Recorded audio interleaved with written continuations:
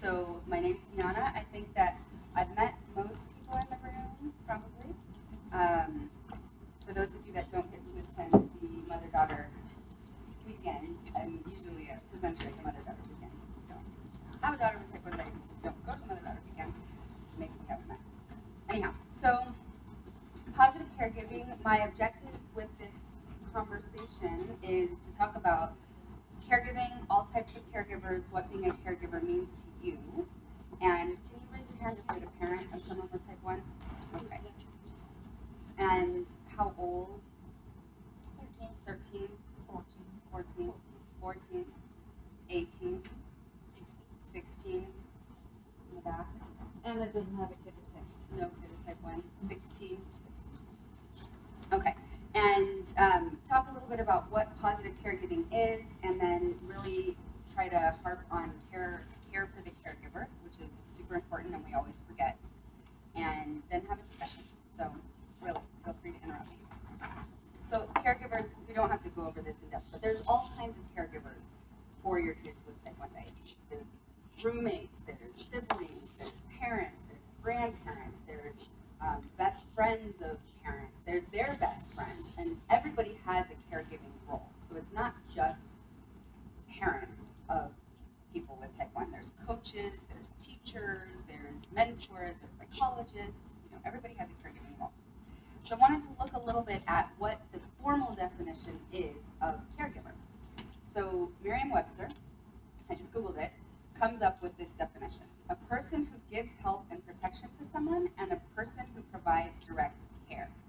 Does this capture your guys' experience as caregivers? It doesn't encapsulate all the worry that we experience. Okay, so it's missing the worry, emotional the emotional toll as a caregiver. What else is it missing? The what? The conflict. The conflict, okay, the argument and all of that that goes into your role as caregiver. What else? What's a big thing that it's missing as a caregiver? The stress that you feel? Yep. What else? As a caregiver, what's maybe the biggest piece of caregiving?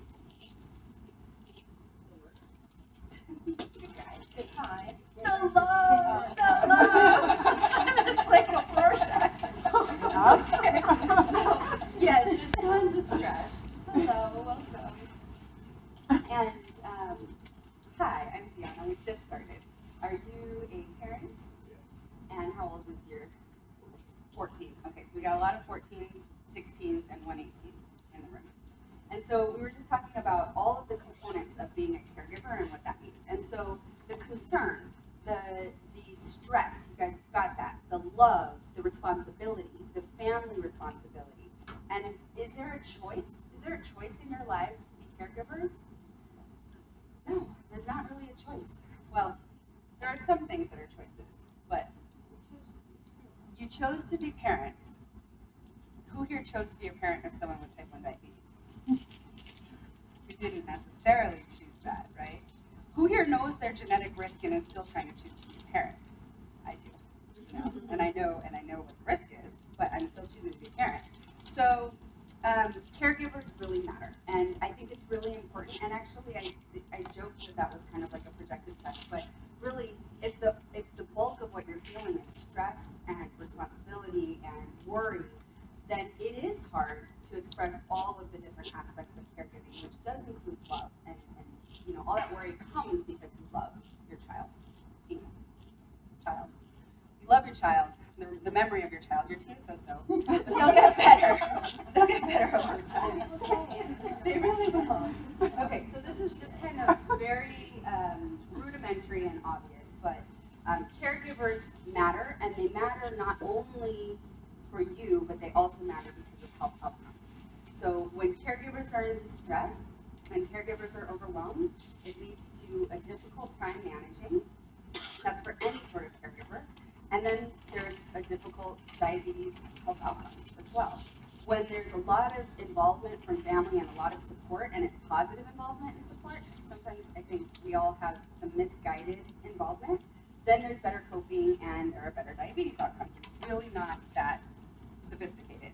And, and then this also extends to the caregiving that you give to each other if you're in a relationship, um, a romantic relationship. Higher marital quality equals more support, which also leads to better management. And this is supported by research, but this is also just like duh, it's obvious. A lot of the psychological research is like really, you're just validating what we all know and we've all experienced, right?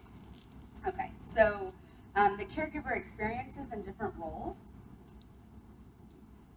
So lots and lots of different types of experiences and roles, and some are positive and some are negative. So I wanted actually, before you read that, what do you guys think are some of the positive roles of a caregiver? Things that go well, feel good, help out, and what are some of the negative experiences and roles as caregivers? Bonding. Bonding. Okay, that's positive. Mhm. Okay. What else? Cooperation from both parties. cooperation on both sides. So feeling like as you're giving care, you're also getting thanks. Oh my gosh, who gets thanks for the care that they give? Yeah, Yeah, you feel you can make a difference. yeah. So seeing some change and, and shaping someone's life. Wow, like as a parent, what bigger deal is that than to shape the way that you see that their trajectory is going, their life is going? Yeah, you see results. What else?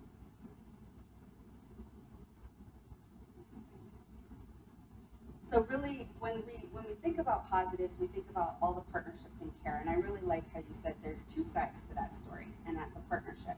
So we think about the collaboration, the support, the um, the feeling. We always use this word as psychologists, self-efficacy, which is just a fancy word for feeling like you can manage it, that you can do it, that whatever big hurdle is in front of you, you can break down and figure out how to do. Um, feeling helpful, being able to monitor, and not feeling like a nag. And then the negatives of the caregiver experience, which I think we've all experienced as either parent or spouse or mentor, is feeling burnt out, feeling completely overwhelmed and burdened, feeling really worried and doubting yourself about your ability to care. Um, sleep is one of the biggest concerns of caregivers because with a kid, teen, or young adult that has type 1 diabetes, it's hard to sleep through the night you're up worrying or checking and feeling isolated, which I think is one of the main things why I support and love Carb DM so much is because it reduces that isolation and knowing that you're not alone in this experience as a caregiver. Any others that are missing on this list? That's some experience. It's negatives, it's also the time commitment. the time commitment with how much caregiving goes into diabetes in particular. Yeah, and how it takes time out of other things that are precious and important in your life. You have to learn to be a really strong advocate. Absolutely. Where where are the ways and roles in which you advocate? Schools, coaches, just, you know, everybody that's not me. Yeah. So you not only have to be the caregiver supporting your team, but then you also have to be the caregiver supporting the caregivers that support your team. And so then you're in this very weird dynamic of being the medical educator when you not you, you didn't really go to school maybe for that. Maybe you did, but maybe you didn't. Right? I was gonna say that like with our son, um, he got diagnosed at nine, so we, he wasn't somebody who had to have constant care, like a friend of ours who was diagnosed very young, at like At two. three or Mhm. two.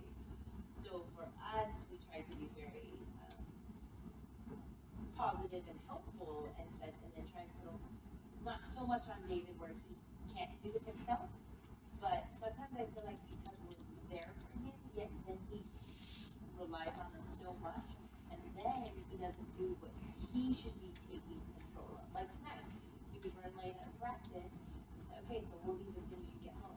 He didn't say that he's totally out of insulin until we get here, and his pump is beeping.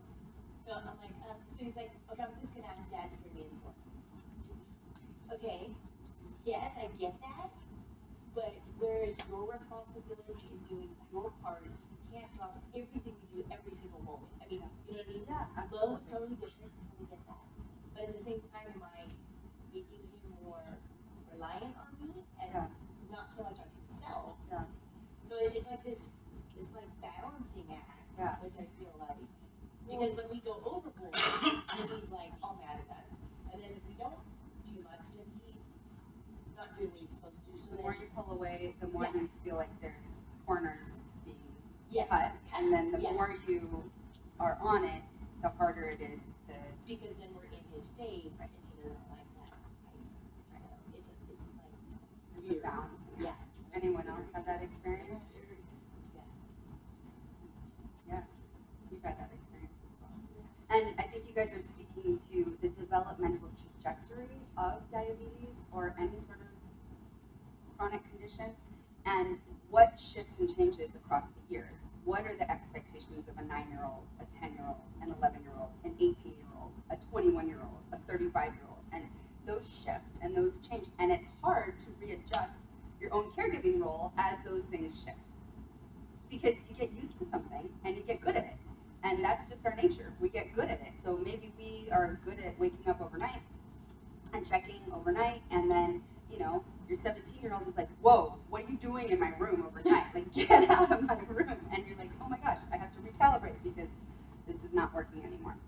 Um, I- don't know what to say in particular, but I do know that research actually shows, on average, that young adults compared to their teen, teen counterparts, other young adults without diabetes, those with diabetes are more responsible, um, interact better with adults, and are have the same quality of life that they report, feeling like their life is worthwhile and meaningful, as their um, non counterparts, people that don't have diabetes. So it may feel like you're doing a disservice by doing all this stuff because they have diabetes.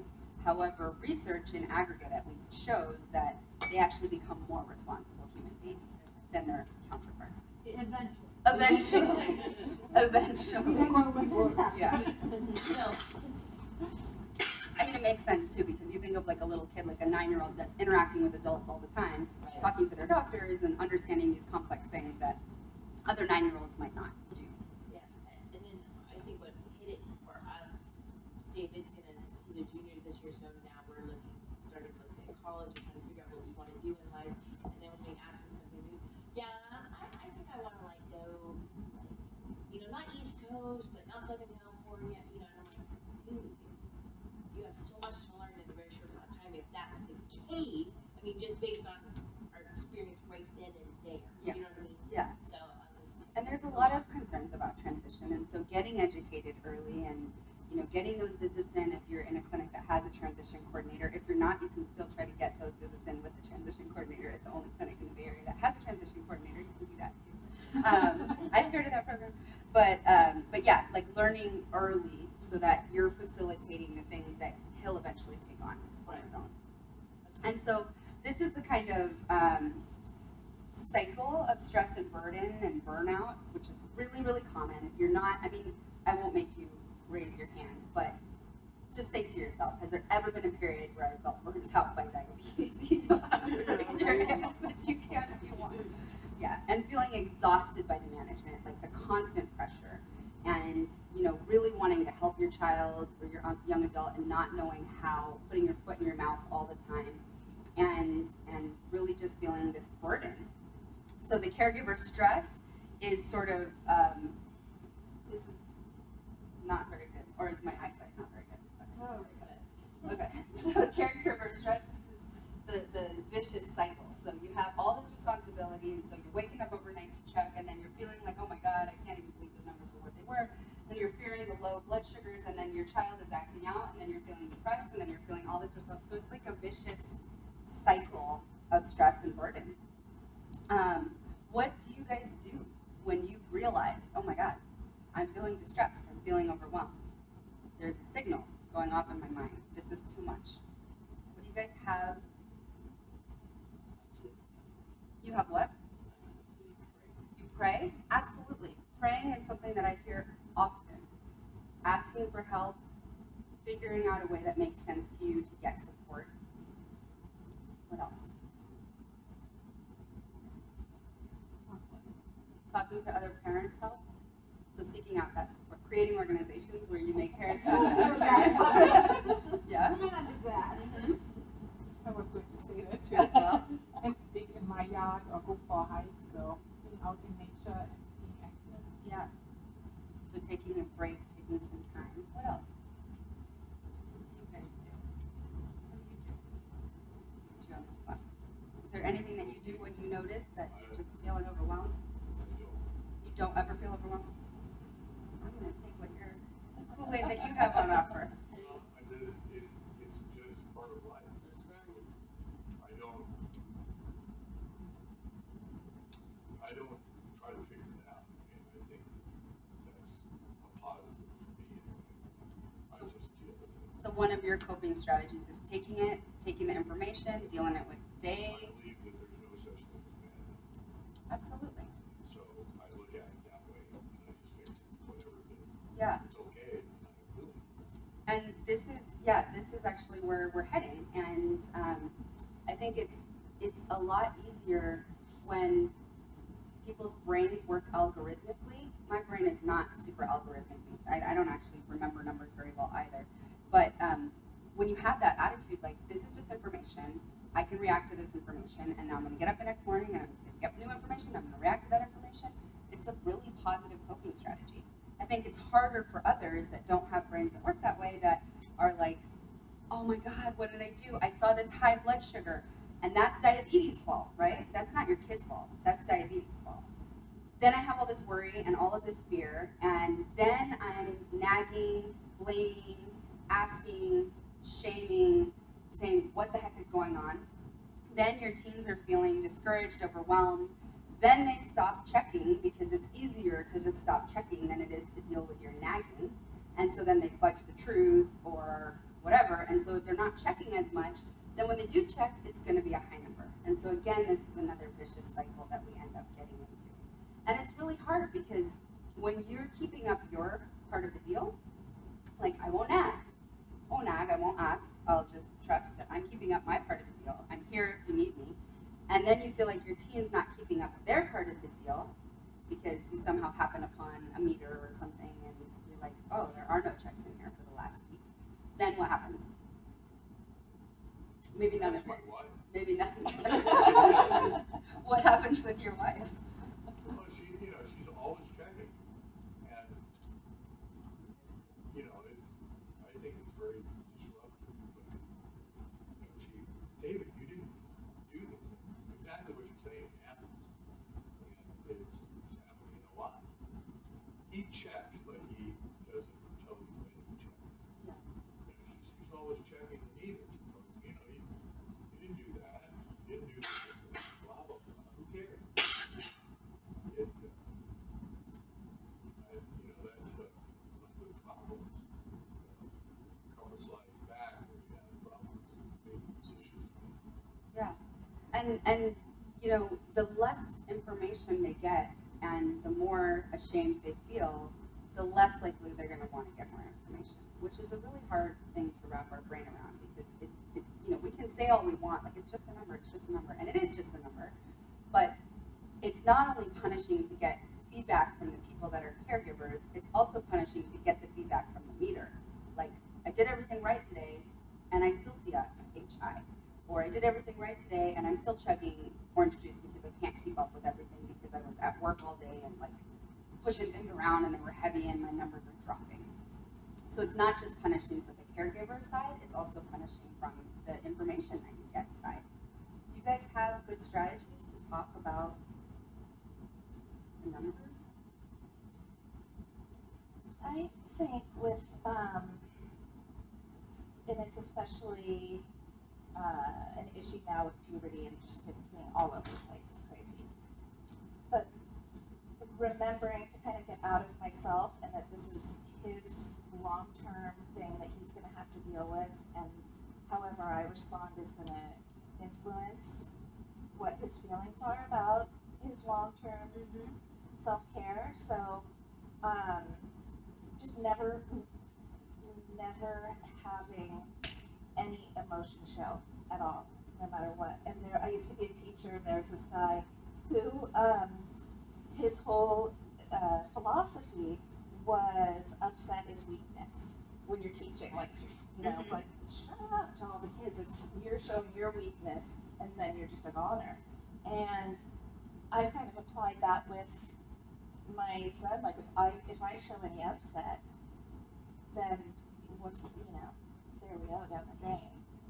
And so just tr- focusing really hard on this is his experience. I'm secondary to it, and What else? How do other people, because this is something that comes up over and over again.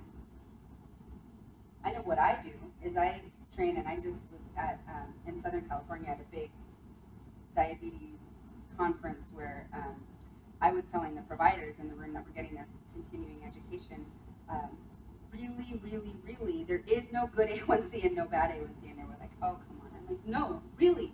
If you don't know what the numbers are, then you don't know what changes you want to make. And so if you scare people into not wanting to come in and understand what the numbers are so you can make those changes, you're not going to be able to even get them through the door. They're going to feel so negative about coming into your office that they're not going to listen to anything that you're saying. They're like, oh, okay, well, and so then I present, like, it's funny because I, I do these talks a lot for parents and parents of young kids as well as teens. And I always say, think of, think of the, the meter as a stoplight who here gets really angry when the stoplight turns red? I sometimes do, because I'm driving along and I want to get where I'm going to go, and it turns red all of a sudden, and I'm like, ah, damn it.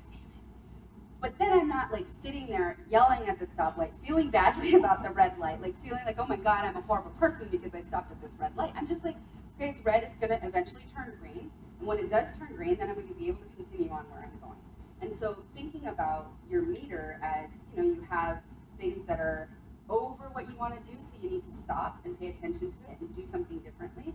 Things that are like slow down because you might be heading in a direction that you don't want because it's a number that's going to give you information.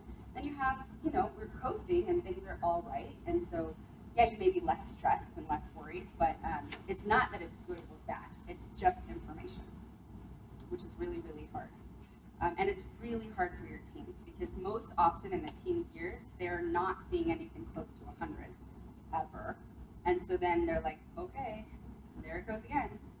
There it goes again. There it goes again. So they're already feeling punished by it, much less having conversations about it. And so this is sort of talking about what you were talking about, these changing roles and changing dynamics. You know, as a parent of a young kid or an early childhood kid, you are the diabetes manager as the caregiver. As you have an adolescent, you're the monitor and supporter. And that means there is this gradual shift, but there's a whole lot of coaching. So it's not like your adolescents are able to just do this all on their own. Well, first of all, their brains are not done and forming. And this whole part of their brain, that's the most important part of planning and making good decisions and not taking risky behaviors and risky actions, is actually not there yet. And it doesn't actually come in until the mid 20s where it's fully formed. And so the executive functioning skills that really are key to diabetes and planning are not there. Like, hey, three hours from now, I'm going to be after practice and in a Carb DM event, and I'm not going to have any sort of insulin. It's not actually like I wouldn't expect him to be able to do that. I would expect him to be able to put some reminders in place that might help trigger that, but I wouldn't expect his brain to be like, aha, what I'm thinking about right now.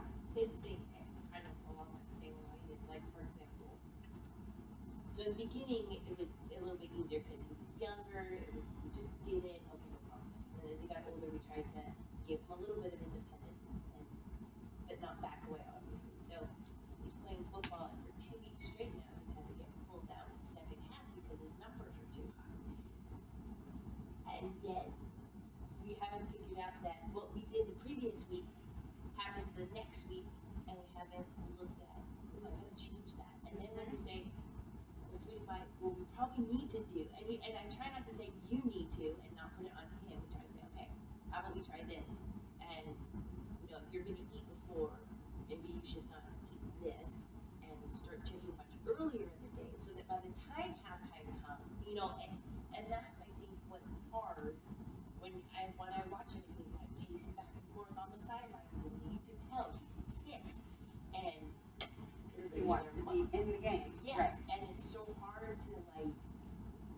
because like I don't want to do that. I told you so because that's not doesn't yeah. do him any good. But at the same time, I'm like, I mean, we just did this last week. Yeah. And now we're doing it this week. And the worst part about that example is that he could have not eaten and dosed appropriately, but because he got nervous in front of the game. And he's one of those kids that when he exercises, he goes up. He doesn't drop. He yeah. goes up, and then we drop later. Hours later. Yes. Right. Yeah. And so, and that again is like, so back to that one circle of um, whose fault is that? It's not his fault. It's diabetes' fault. His pancreas pooped out on him and is no longer adjusting according to whatever is presented to him in the moment. It's not his fault, but helping put things into place that might make the experience a little bit easier for him is absolutely a goal. But he may always be the kind of kid that spikes when he's nervous about a game and there's like a big something exciting in his life that's happening. And so then, you know, how you manage that is going to be better and better and better over time. Well, and then it doesn't help that then the coaches see that and they don't, they don't understand enough because he's the only, only one on the football team. So then they tend to be much more conservative and they'll pull him out as soon as they see that he's, you know, he probably could go and just, he probably needs to just We could plow through. yes and plow through it. But they're trying to do their part and I don't, I'm not gonna go, no, you need to let him play because if something does happen, you know, because I, I get that. But it's just, it's very frustrating to watch him get so frustrated because then later on, then that frustration, him about. And the part about adolescence and the monitoring and supporting is like, um, who here has been fooled by the height of your child? I was because my stepdaughter was really tall, really fast. At 12, she was already 5'9". By 14, she was almost six feet tall. She looked like a human. She was not a human, but she looked like one. And she and they talk very well. They have good vocabulary. They sound like adults, and they can carry their own, especially when they're not around you. They're around like your friends or other people that they're trying to impress. And so, it is really hard to figure out what your coaching role is and what your backup role is because they talk a good game, but then their actions are like I remember like she used to she literally used to leave her gum like her chewed gum like out like right there. It's like at some point you took it out of your mouth and then you made a decision to put it on our furniture and then you walked away. Like there are a lot of steps that happen there. And and she was like, huh? huh? You know, so you don't know what's going on. So um, so thinking about your role as coach, doing things like even granular things like, okay, I know this sucks, but you're 17, you're gonna go to college, we're gonna call insurance together. You're gonna be on three-way, you can be completely silent, but I want you to know to press one immediately. Press one immediately, because then you'll be on hold for the next half hour if you don't press one immediately. And so you're helping them by scaffolding their their their experience. Just like if you were in your first job, you would not be thrown into something that you didn't know how to do all on your own.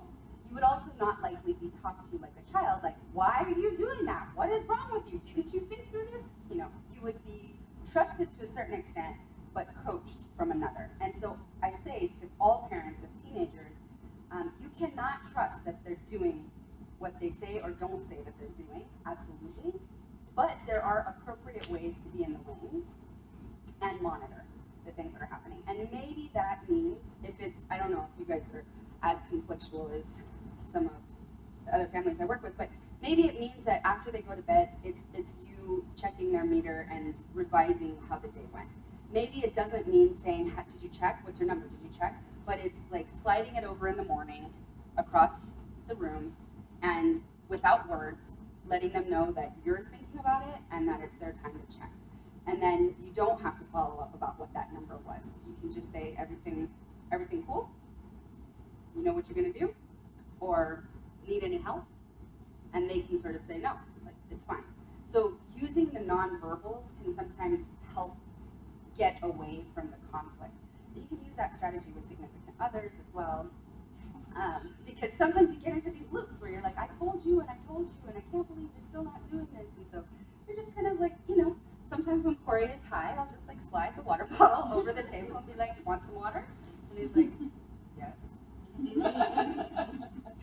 and then it sort of transitions to your role as being the safety net. So then as young adults and adulthood and beyond comes on, you're that person on speed dial that, oh my God, I can't believe this. I went on a work trip and my Lantisol went bad. And I don't know, I was in Hawaii for some reason because I have this awesome job. And, um, and I didn't have a refrigerator in my air, in the air conditioning went out. I don't know, whatever. What should I do, mom? What should I do, dad? And you're kind of the safety net, but you're not the go-to person to be managing all of the activities all of the time. So support is backup, as um, talking through things, as providing love, but the roles do shift over time. Have you guys seen a big shift from your vantage point with where you're at? You're kind of in the middle. Yeah, but I kind of, my child wants to have much more responsibility than she's ready for. She's Like, ready. She really wants to just do it all by herself, and she does not have the knowledge to do it. And So the management isn't that great, you know, she doesn't want to know. And you bring up a good point is that um, just because there are ages doesn't mean that people developmentally are ready or less ready. Like just because a kid is 18 doesn't mean that they're ready. Just because a kid is 16 doesn't mean that they're not ready. But like you're saying, maybe her her desire and her energy and enthusiasm is there. Just like if your kid was a gymnast and they're like really wonderful, but they're probably not going to the Olympics, but they're like super excited about it and think maybe they are, and you're like, wow, there's a reality check here. So what can your role be to scaffold her success, helping her develop her independent skills, but maybe recognizing, you know, her need for the support still, her I- need for the. I don't know, if she resents my involvement, she doesn't want me to comment on it or give her suggestions, or, but she wants to be able to do it all by herself, but I think she knows, she can't do it all by herself. Yeah. And I think that this is not unique to diabetes. Usually, this is not the only thing that teens resent us over, unless you have a magical teen. That's the only thing that she doesn't want you to get involved. That's the only thing she doesn't want. You. Does she want you involved in her love life? Well, I don't think so. That's Okay. saying. Yeah, Is right, that yeah. Kind of the, the age where that's what you do. It's important to like put up barriers against your parents. I I firmly believe it's like math. important. You- I can't teach my kid math. I don't even understand my kids' math, Yeah. but it's important. Well, I understand it, but I can't teach it to them. Yeah. Because I'm his dad. Yeah. I can't teach him skiing.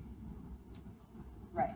And I I think that the more teens I see and the more time I've experienced lots and lots of teens is like it's genetically, it's evolutionarily um, important that they become ornery. If they are super pleasant all the time and love you so much, they will never leave. They will never leave. Like so, it's it's sort of evolutionarily protective of them to become a little bit like ah like and you're like, ah, because then it helps prepare you for the eventual separation. In some cultures, which is later, that's okay. And some cultures, which is earlier, but that they are developing these skills. So it is very important that she's able to say, this is mine and this is what I want to do. But it's equally important for you to say, great, I understand that, but I need to make sure that if it's not done, there's a contingency plan. And I'm that contingency plan. So how can I, you know, be on the sidelines, but make sure that it's happening? the impact of technology, which was the next slide, so it's a great segue of pumps and CGMs, like there's a lot that it helps. There's a lot of freedom and flexibility and feeling like you could have a more natural life where you're doing things and you don't have to constantly be, you know, oh my God, I just give myself so much insulin, I have to eat all of this food. You're like, okay, I'll, I'll dose out you know, accordingly. Um, but there's also this idea that there's too much information sometimes, and there's alarm fatigue, alarm and alert fatigue on both of the systems. There's all of this anxiety and worry in seeing every five minutes what is happening and wanting to act like act on that. And then again, because of this developmental trajectory and in adolescence, it is natural for teens to want more privacy and more secrecy because they are trying to explore things that aren't comfortable to explore around their parents. I don't want to know intimacy stuff. Like, okay, yes, I want to know like in terms of safety, but I don't like want to know details about like, yeah, no, mm-mm. but um, but there's this then open portal to getting all of this information constantly, and I think that if you guys don't have agreements in place and you have to share, it's a great time to make an agreement of how can I be supportive and helpful and scaffold in the way that's the center box, not the I'm managing everything, I'm not managing anything. Um, how can I scaffold? And maybe that's okay, mom. Um, I am okay if you have seen my like very low alert go off three times and you haven't heard from me in however many minutes 20 minutes 30 minutes whatever it is that you agreed I am okay that you call me. But if I responded to it and you have heard from me, then I'm not okay that you call me. So each family has a different system in place. You guys, have you guys, are you guys all taking people?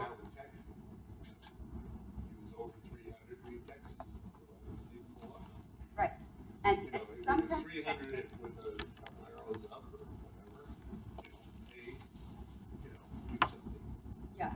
And sometimes the texting are words, and sometimes they're gestures, like um, like thumbs up question mark, high five, or you know, sometimes teens really don't like words. Like I don't want to explain to you because I don't know what's happening. Um, so they just like to know that you're there. But what he was like, I don't want my mom checking every five minutes and wondering and asking questions. And for your kid, he was like, my mom was already asking questions every five minutes, and so now I'm glad that she's only asking questions when something really bad is happening. And so I know that I don't have to pay as much attention. Yeah.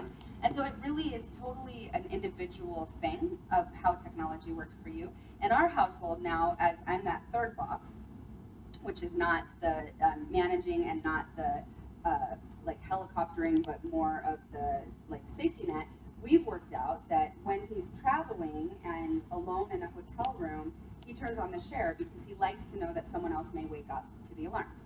And that's totally comfortable. But when he's not traveling and we're like here and maybe he's nervous or, you know, in front of five teenagers, oh God, um, that he doesn't turn on the share because he doesn't want my help and input. And so each of these things are, are iterative to work out with your own. Okay, so um, benefits despite the challenges, so finding the positive.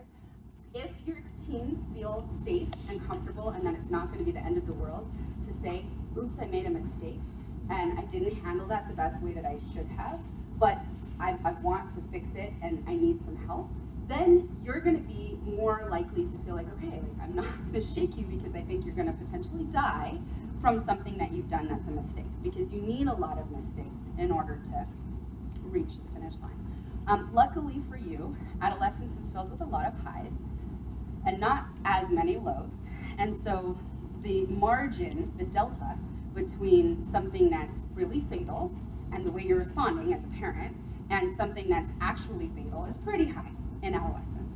Not great, I'm not saying that high numbers are great for extensive periods over long amounts of time, but their margin of error to do something about it, they're usually not dosing and bringing their blood sugars way, way, way, way, way down during adolescence because of puberty and how their bodies are responding to insulin. So you have a little bit of wiggle room in order for them to show you that you can trust them. And it's all, I think, about the communication and how they're delivering the things that are not going well in order for you to start getting confident as a manager that things are moving in the right direction. But it takes time and it takes patience and it takes conversations that are sometimes difficult but really important. It really depends on your kid. But for like little kids, things like, oh, can you like can you carry the supplies? Or can you run and grab whatever it is? Or um, let's all guess play that number. What's that number game? And so sibling, you know, whoever is closest gets some little treat or surprise. But including them and remembering that there is a lot of worries and fears that siblings have as caregivers and as people that love their siblings. They worry, they see mommy and daddy stressed all the time. They worry about, they hear these things about health and outcomes and things, and they're like, gosh, you know, is there something really bad here or something really wrong? And so having conversations with them also about health and about the health of the family is really important, not to forget our siblings. And then finally, my computer is going to die. Um, caring for the caregiver, it's super important for you guys to take care of yourselves. It's important. I say this, and everybody says, yeah, yeah, yeah, I know. But it is important. You, you can't do this all alone, and you need to have support systems outside of your family. You need to have support systems inside of your family. You need to think about when your like tea kettle has gotten, oh, died, um, gotten all the way to the boiling point, what your contingency plan is and how you can get some respite. And I think it's easier in certain circumstances to figure out and harder in others, but I work with every family that I see, even families that are experiencing severe amounts of stress, on how to build in a bit of time away and time for yourself and time to focus on yourself. Because if you're not doing that, you're not being a good role model for your kid. And you don't want your kid to get all consumed by diabetes all the time and be so distressed and burnt out that they can't deal with it. You want them to be able to manage, and when they see their tea kettle is bur- like boiling over, that they're able to take a step back and be like, you know what, mom, I need help this weekend, or whatever it is. So it's a good being a good role model and being and being good to yourself. questions, thoughts, ways you guys have gotten respite or support or help? I called Tamar. You call Tamar. A lot of people send send kids to camp. Oh, I love camp. Yep, camp is awesome. It's important It really for is, teens to connect to other teens, for parents to connect to other parents, for adults to connect to other adults, because it is a very isolating and very demanding chronic condition that